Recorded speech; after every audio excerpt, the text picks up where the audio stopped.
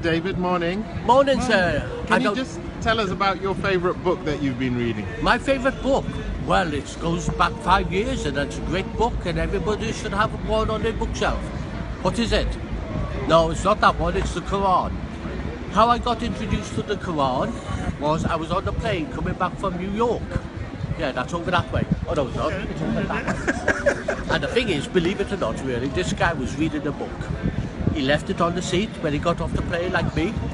And you know what? I chased after this guy and said to him, Hey, mister, uh, you left your book. He said, No, you keep it. I said, Well, okay. So I kept it. And then I was waiting in the airport lounge in Heathrow. And what happened? I started to cry when I read the Quran. So I put the book down. I was happy. I was still the same.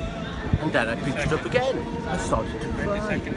And then I got a taxi to my brother's in London. And then what happened? I told him about the Quran that had made me cry. And, and do you know what? Just a moment. And then what happened was really, he said, don't speak of nonsense things, don't speak of things. I said, well, the thing is really, why am I crying? And then he said, go next door. So I went next door, and who was there? The man that was on the plane. And, he, and the thing is, name a number, any number. The thing is, I'm not selling that Quran for 20 million pounds or 20,000 pounds. I read it twice a day, and not only that, I keep it under my pillow.